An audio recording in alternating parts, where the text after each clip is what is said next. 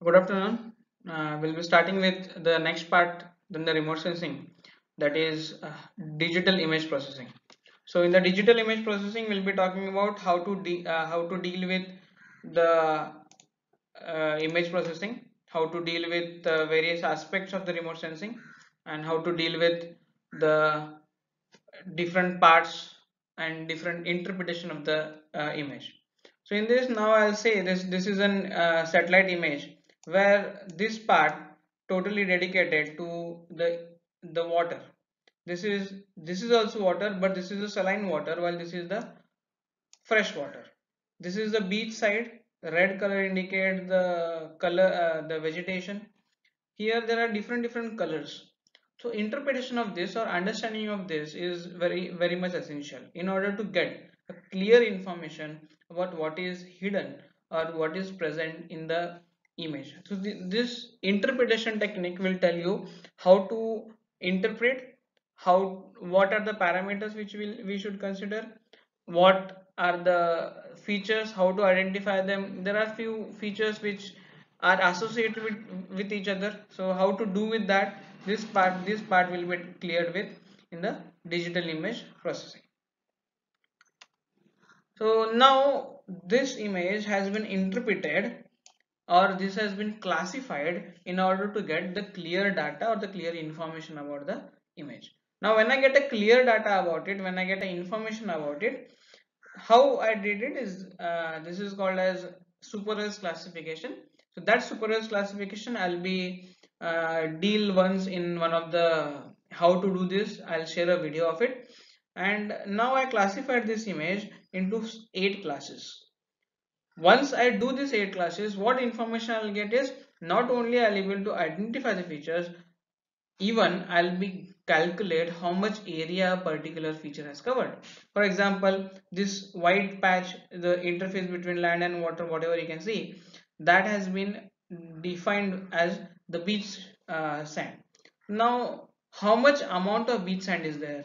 Then the forest land. This is the for this part is the forest land. So how much forest land has been covered then this is the water body. How much area this water body covers? These are all calculations i can do with the help of digital image processing. Digital image processing don't deal with only this part. It deals with the many other parts. Like now there are few distortion. Now this image you can see number of lines in it. How to remove this line? What are the techniques to remove this lines? This all is included in digital image processing. But we'll be only talking in this class or in this syllabus is only how to do how to identify the features how to identify the features what are the basic steps which are used in identification of the features. This is all i'll be doing it in this class. Okay. Coming to now imagine i'll i'll be discussing with you i'll i'll, I'll tell uh, you, you imagine one area. Now for example you say so you have one uh, image or there is one area where there is undulating uh, terrain. There is a river there is a boat at the left corner tree at the right, right corner windmill on the top of the hill or the windmill on the terrain. Then the eiffel tower is there beside you. Imagination of this is very difficult. Okay? Or almost now we have uh, so a 17 18 participant. So all 18 participant will be imagining in different different aspects. Someone's boat may be smaller one or someone's boat may be bigger one. So but if i show you okay this is the image. Now I, there is no need to explain. There is no need to explain that what exactly. You'll understand that there is eiffel tower there is a windmill there is a boat there is a river there is a tree and you can imagine this everything in one picture you can imagine this very better with the things will be very much clear in this concept. Okay.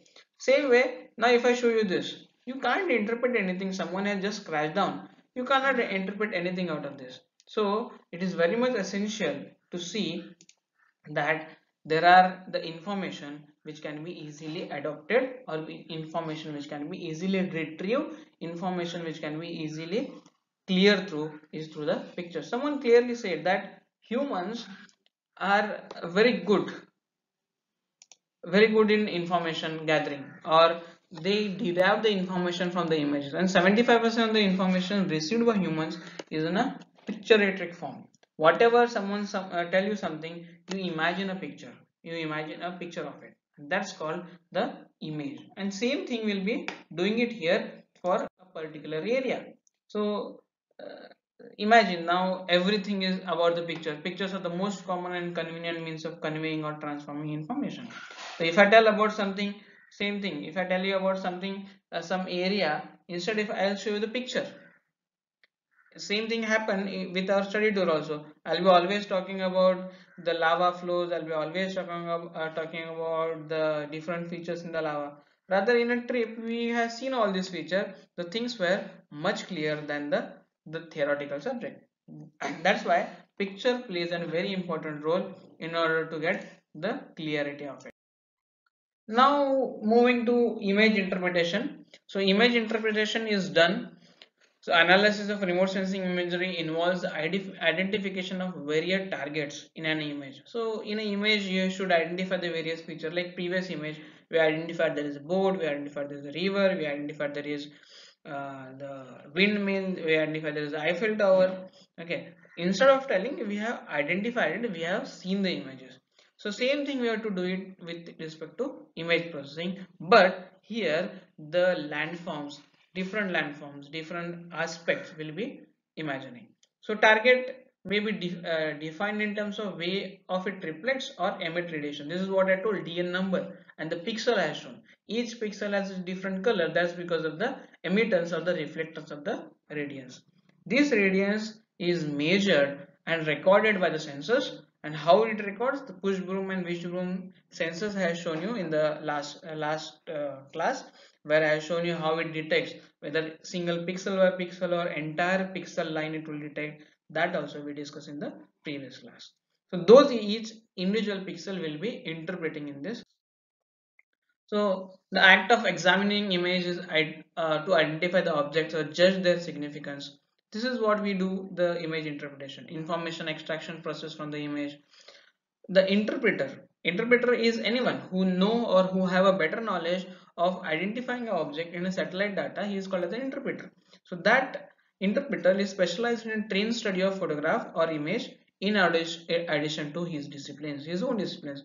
So the image interpretation can be done by any layman or in, it can be done by any any other person. But the everyone's interpretation will be totally different. So now the previous image i may interpret in a different way someone else may interpret in different way. Someone may see eiffel tower at the beginning someone may see river at the beginning. That depends upon your perception what is your point of view in order to get the information about it? And that's why a single satellite image can work with uh, many uh, people. For example I'll, I'll give more technical example. Now if I the same image the first slide image which I have shown you if I give that image you may see that okay there is only a coastal land. You may see that there is a forest. You may see that there is a barren land. So here you can go for the construction like that you may interpret. But being a geologist i can interpret in a different way. I can talk about more about the coastal features. I can talk about more about rocks. I can talk more about the terrain how it is. So one image can be interpreted by many other uh, people. Depends upon their judgment depend upon their subject expert depend upon their requirement. Okay. So one image will play an, a very important role in order to get a clear information about the many other aspects so now how the image is? So this i already shown single single pixels. This in this is the individual pixel. Is called as a pixel. It's always in a square mark. A single pixel. And the reflectance value of these pixels are being given here. So this is a single pixel. This is called as a row. This is called as a column. And it is in the different different band. What exactly means by the band? Band is nothing but uh, in a yesterday's class when i was explaining electromagnetic radiations i said that blue band has some some range. Red band has a some some range. Okay. We'll be not using entire web here in order to get the clear uh, clarity of the picture. Instead i'll be using only red band green band and yellow uh, or infrared band. So that individual color band is called as individual band. And a combination of this will be using in order to interpret the picture. So this is called as a pixel and this is called as the dn value called as the digital number it's called as a digital number this plays an important role this only will give the clarity about the colors or this will provide the information about the objects present. Committee knows yes when I say a multispectral scanner or the multispectral image. So this they have a different different bands. One has a red band, green band, blue band and infrared band. When you combine these bands, when you combine this band, we get a one picture which talks about many other aspects many other aspects. So this combination say if i say if i use red band green band and blue band i may get only true color picture where the vegetation may look green vegetation may look green. But instead i'll i'll remove this green band and i'll add this infrared band. I'll get a false color composite. I'll get a false color composite where the vegetation will look red. And it will be very easy for us in order to get a clear picture about which type of vegetation it is or whether it is healthy vegetation or not. So we usually interpretation we do with the help of red blue and infrared band okay to get the false color composite. It's called as fcc it's called as fcc so this false color composite we use this for the interpretation. There are two methods of interpretation. One is visual method another is digital image processing. So in a visual method it is an old method. We probably don't do this part because here the hard copy of the image is required. So hard copy of the image when you have that interpretation you have to written down. And again as you know that every person interprets his image in his own way. So it will be difficult as. So what we do is we interpret the images visual interpretation we do with help of digital images. With the help of digital images. So we do the in interpretation visually but with the help of softwares we'll be using them for the clarity of the pictures. Okay. Then what makes an uh, makes interpretation of images more difficult than everyday visual interpretation. So here uh, interpretation with you with normal eyes if you do we may not understand about a terrain. We may not understand about the terrain but we have a specific instrument called as stereoscopes. With that we will be able to identify the image. Uh, don't take this part as very lightly because this is also one of the part in the geology lab. We have uh, image interpretation satellite data interpretation where we'll be talking about these concepts only. We'll be talking about this concept only. We'll be interpreting few of the images as well. Then the next part the before we go for the image interpretation we need to understand something about the resolutions of the image because it's clarity. Resolution is nothing but the clarity. Now now we are habitual to get a very clear pictures.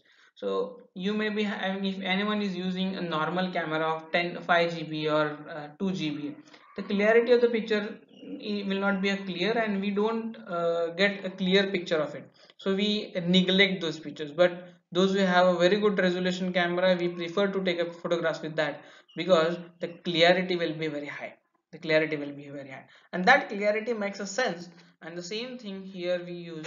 But here the clarity concept will be cleared with a four type of resolution. One is spectral resolution another is radiometric resolution another is spatial resolution and the temporal resolution nothing but the revisit timings nothing but the revisit timing. We'll see this coming to spatial resolution. Now see this is an image of hornbill so imagine an image of hornbill captured with a very high resolution camera.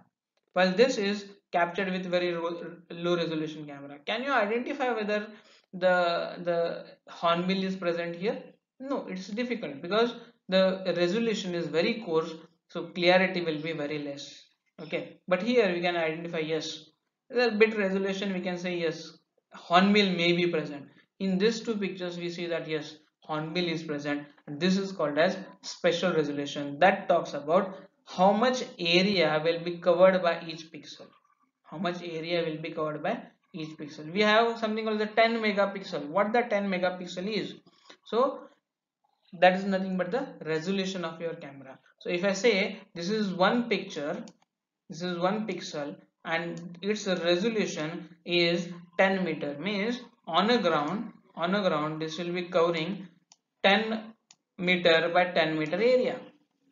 Right now the google images satellite google images they have resolution of 1 meter means on the ground each pixel represents 1 meter by 1 meter area on the ground. 1 meter by 1 meter area on the ground. So the even the clarity will be very high. Clarity will be very high. So here the we have same thing called 80 meter resolution. Clarity is very less. Then same area 30 meter resolution we have. Again clarity will be less here we have a 10 meter resolution where the clarity will be very high and things can be very clearly seen or, or the easy for the interpretation purpose. It's very for the uh, easy for the interpretation purpose. So this makes a very good sense in case of resolution. This is called as spatial resolution. This is called as spatial next is radiometric resolution uh, the spectral resolution. Next is the spectral resolution. The spectral resolution talks about the number of spectral bands. It talks about number of spectral band what do you mean by band? Band is nothing but the single range.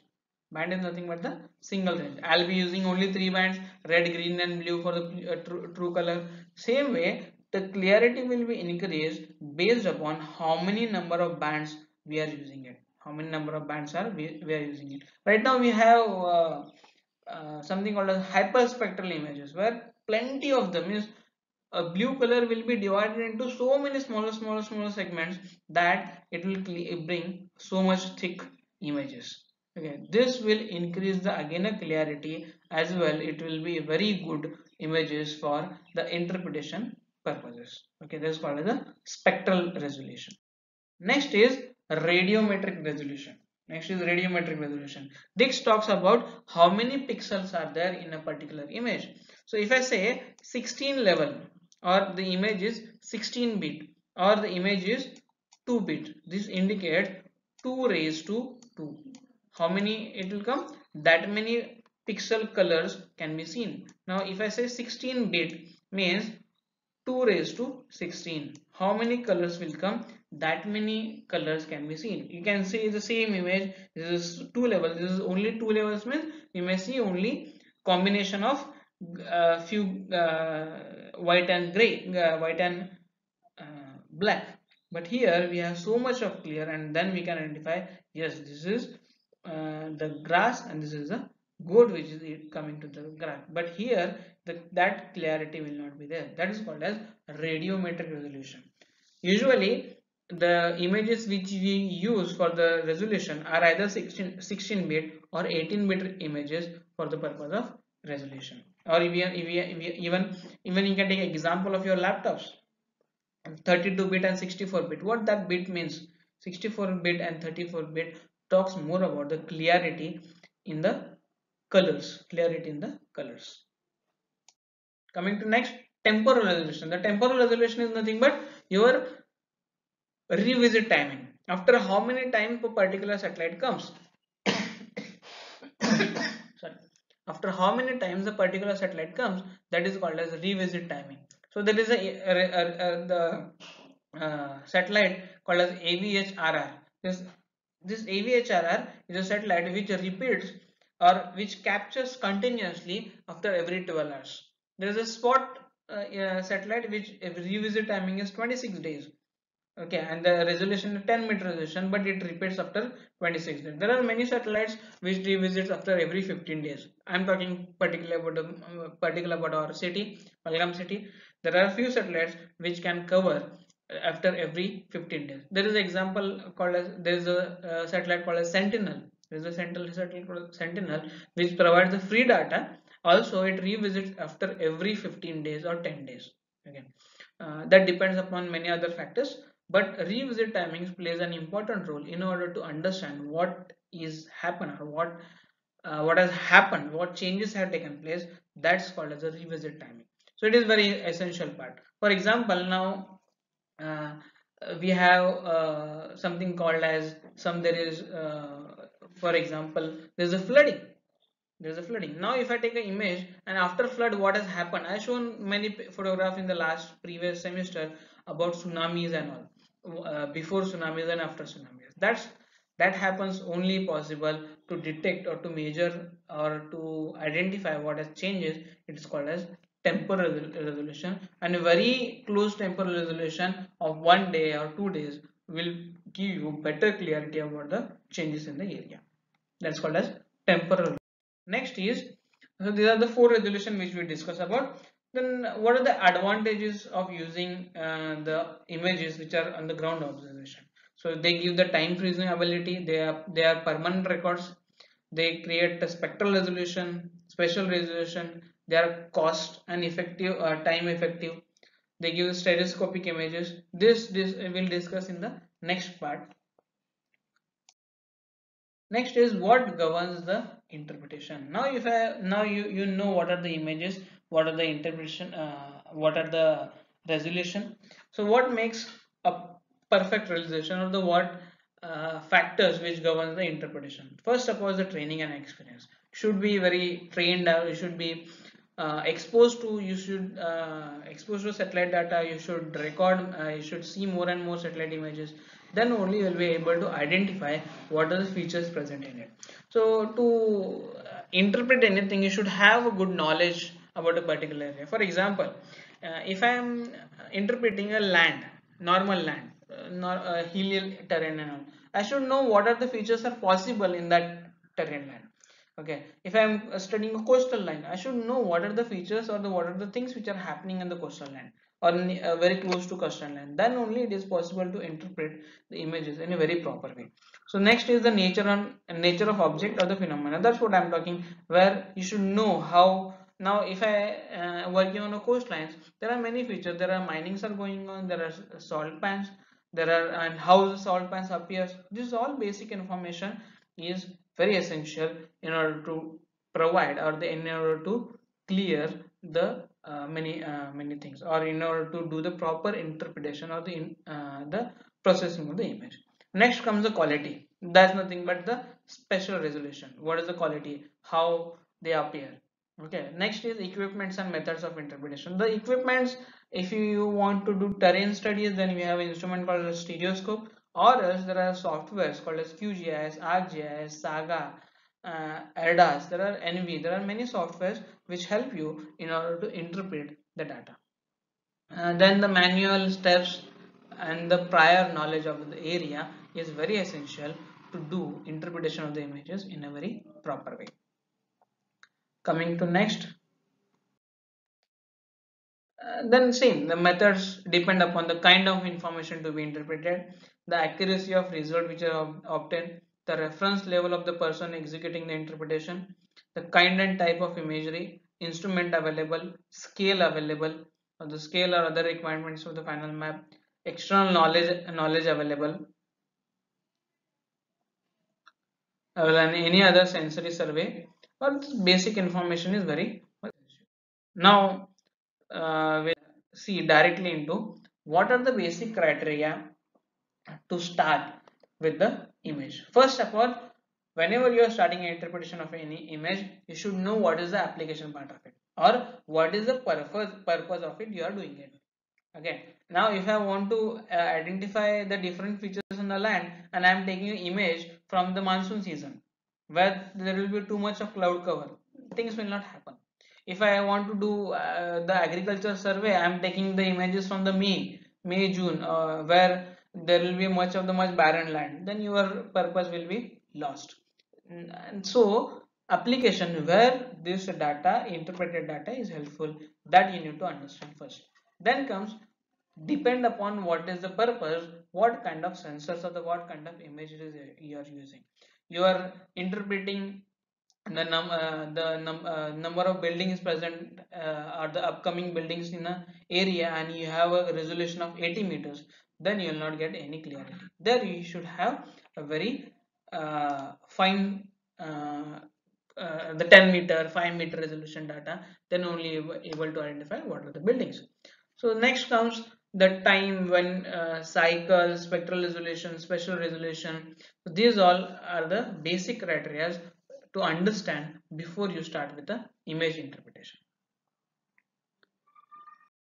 Then comes the elements of image interpretation. This is more important in order to understand what are the elements which are there in order to get the interpretation. So there are few elements which we use are called as tone, shape, size, pattern, texture, shadow and association. We'll see this. So first comes the tone. Tone refers to the relative brightness tone refers to the relative blackness of the color of an object so now if i am using a false color composite i should know what uh, color will be the red, red color will be there for the agriculture what color will be there for the uh, your uh, barren land what color will be there for the shrubs what color will be there for the herbs what color will be there for the healthy vegetation. So that basic knowledge you should have and this information will be provided by means of tone. So the generally tone is the fundamental element for the distinguishing between the different targets.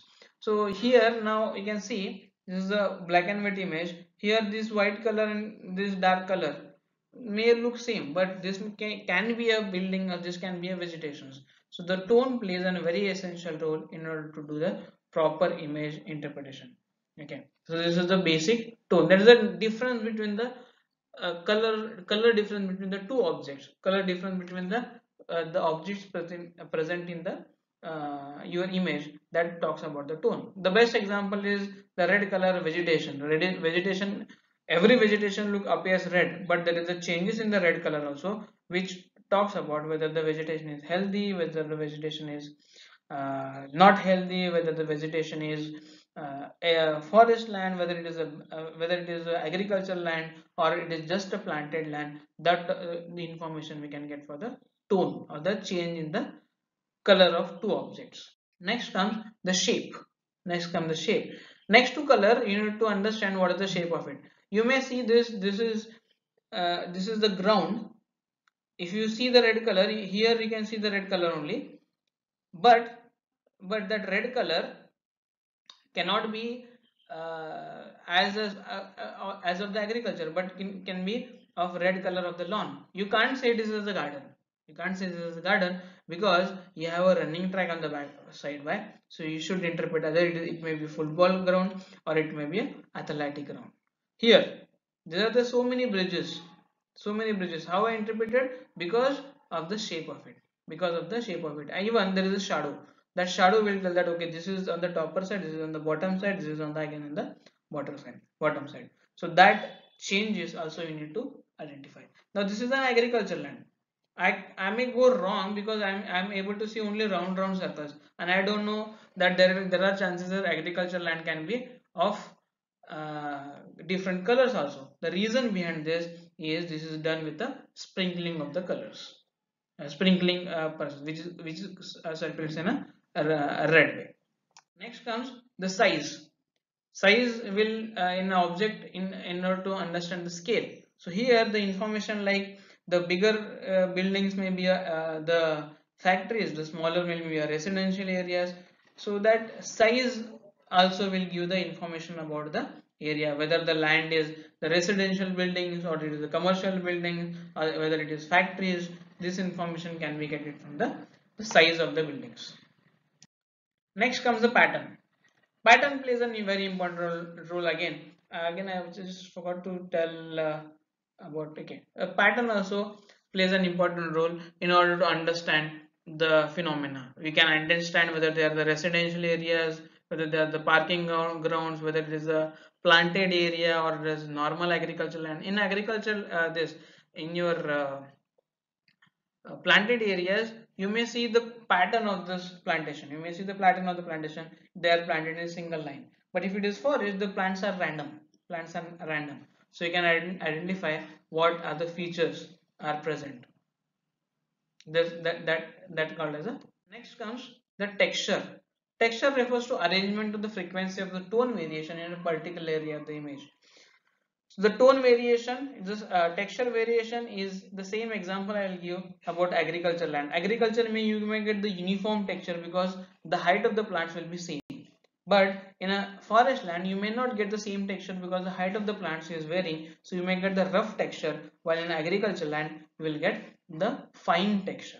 You may get a fine texture. So that's a texture in order to help in order to identify the buildings. If we have if you have a roof system bungalow or if you have a colony where height of the buildings is same height of the buildings is the same then you may get a smooth texture. But in areas where there is undulation in the buildings there you may get a the rough texture. Is called as a text. Next coming a shadow. Shadow will tell you about the it will give the rough idea about height of the buildings. It will give the height of the buildings it will get the height elevation changes. Now you can see i said that i can understand that this is on the top while this is at the bottom. This is because of the presence of this shadow. I'm getting a clear picture how exactly it is working. Okay that's the next part shadow. Next coming associated feature next comes the associated feature. Associated features will give the rough idea. For example now if there is a water body there is a water body next to that there is a plantation. I can imagine that i can't say this is the agricultural land. If it is a river then i can say yes agricultural land but there is a road here. So i can say this may be a garden. Okay this is called as the associate features. So if you have the uh, garden you may have residential area imagine this is a residential area. There is a ground uh, football ground or the cricket ground or the athletic ground. You may say this this may be probably very close to school also. So this is called as associated features which will help in order to judge uh, in order to give the clarity about the presence of the objects. So there are method different different methods which are used in this uh, interpretation there may be we may use mono uh, as, as a or the stereo analysis we may use multi uh, multiple images in order to identification. We may use multi-band images we use multi-date images or we use multi-stage images for the interpretation. That depends clearly upon what is the purpose why you are doing a particular work. Okay so that based on that we change the things so there are different sensors as also which you use. We have a black and white uh, chromatic sensors. We have got color images. And uh, different purposes. This will discuss more about it in the geology lab session. Yeah. So there are few images which you can have because we are left with short of timing. So we'll have uh, these images images which I can show. So this is a black and white image. Here you can say this is the beach part this is the boat which is moving. That's because of the associated feature. I know that boat will create this this scenario. I can say yes this may be a boat is moving. While this is now you can imagine this this is the beach. Because this is the i can see the waves here and that's why i said this is the beach and this is the ocean. If i can interpret this as a lake also but i know there are waves are present mean this is the ocean. This this is why the uh, associated feature plays an important role again by large I can say this is an coastal area. Coming to next, see color uh, color composite. Now here also I can see all green color as vegetation here, but the red changes in the red color because this is the thick vegetation. This is lawn. This this cannot be a lawn. This is not it's not healthy. Uh, I can say. Um, growth. It's not a healthy growth which is a bit difficult in this part of the image. This is again uh, infrared image mid infrared image of uh, the island. Here also there are different features which can be identified like features like uh, the these are the agricultural land this is the barren land these are the small small islands here i can say number uh, the type of plantation i can identify because on the islands small islands or these these are the connected uh, spits and bars we call them. So here i can't say that this is the coconut plantation. I must say this as this is the mangrove plantation because of the association with it. The association with this is with the plants. Same the satellite images. Agricultural land. Why i'm saying agriculture? Because these are the rounds which are been created because of the sprinkling irrigation and the agriculture has been done. I can't say this is something different. I know this is the vegetation and you can see the texture also the pattern the arrangement of the plants. You can see the pattern also. This is goa image Mandovi and Zuari river. I can say this is Aishuri this is the uh, this is the land this is these are the islands these are the uh, settlement cyan color where we see there is a settlement. Okay. So this is how we interpret a different different images. This is sundarban delta. So here the plantation is mangrove plantation all are mangrove plantations okay. And these are the rivers. This is the clear clean water. This is the turbid water. This is again same